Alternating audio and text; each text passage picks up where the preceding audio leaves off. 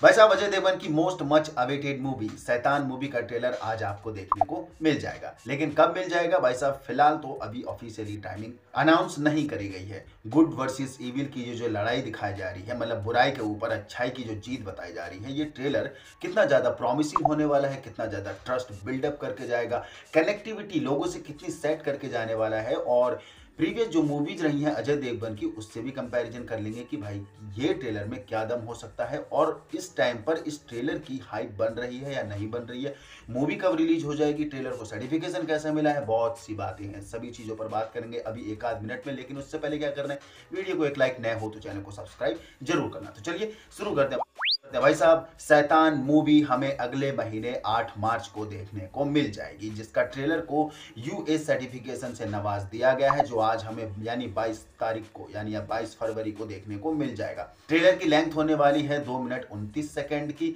तो भाई साहब, फाइन लेंथ है, जहाँ से हमें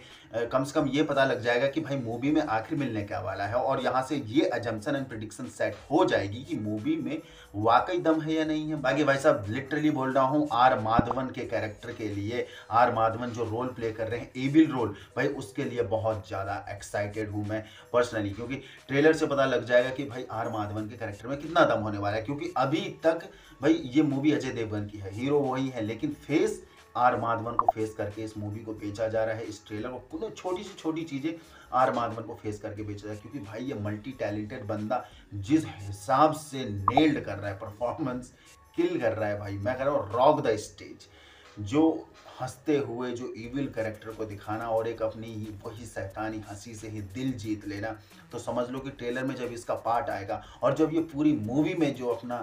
पूरा टैलेंट बिखेर के सामने देगा तो कितना ही मज़ा आएगा। तो भाई लिटरली एक्साइटमेंट है इस बंदे के लिए और ट्रेलर के लिए भी। लेकिन ट्रस्ट इशू में गड़बड़ वहाँ हो रही है क्योंकि डायरेक्टर का नाम जो इसमें जुड़ रहा है, वो विकास बहल है, जिन्होंने अभी ताजी ताजी टट्टी गणपत नाम की हगी है और उससे सभी लोग वाकिफ हैं। दूसरा ट्रस्ट इशू, एक और गड़बड़ यहाँ है कि भाई साहब, ये मूवी रिमेक होने वाली है, गुजराती मूवी वस की लेकिन इन सारे ट्रस्ट इश्यूज़ को गड़बड़ जो चल रहे हैं, इस गड़बड़ाहट को पूरा मेंटेन करते कौन नज़र आ रहे हैं? नाम अजय देवगन, क्योंकि भाई ये बंदा खुद प्रोड्यू प्रोड्यूसर तो है ही एक, लेकिन साथ में ये को डायरेक्शन का भी काम करेंगे और भाई ये अपनी डायरेक्शन में बिल्कुल भी कमी नहीं करते हैं। बात रही रीमेक की तो ऐसे बहुत से कंटेंट हम इनके देखकर आ चुके हैं लाइक दृश्यम ले लिए, दृश्यम टू ले लीजिए, भोला मूवी ले लीजिए, भाई साहब भोला वो मूवी है जो एलसीयू कनेक्शन की कैथी कैथी का जो रीमेक था, भोला, वो एल कनेक्शन की भाई अलग हाइप छोड़ के जाते हैं, लेकिन जहाँ पर भोला नाम आ जाता है, वहाँ अजय देवगन की सूरत अपने आप हमें देखने को मिल जाती है क्योंकि उस हिसाब की उन्होंने डायरेक्शन दी है, उस हिसाब की उन्होंने इमेज छोड़ी है अपनी। दैट्स वाई कि भाई कि भाई इस कंटेंट से ट्रस्ट बन रहा है कि चलो ठीक है रीमेक होगी भी तो दमदार होने वाली है, क्योंकि अजय देवगन बिल्कुल भी कॉम्प्रोमाइज़ तो नहीं करेंगे। कंपैरिजन कर लेते हैं थोड़ा पुराने ट्रेलर से, क्योंकि इस टाइम पर इस ट्रेलर की बिल्कुल भी हाइप नहीं बन रही है, बिल्कुल भी हाइप नहीं है। भोला भोला के ट्रेलर से अगर कंपैरिजन करें तो भोला के, भोला मूवी के ट्रेलर ने पचपन million lifetime views collect किए और साढ़े पाँच लाख के आसपास लाइक्स मिले हैं। लेकिन तानाजी को भाई फाड़ बम्पर व्यूज़ मिले हैं 81 मिलियन लाइफ टाइम व्यूज़ जिसको 1.3 मिलियन लाइक्स मिले तो इस ट्रेलर को कितने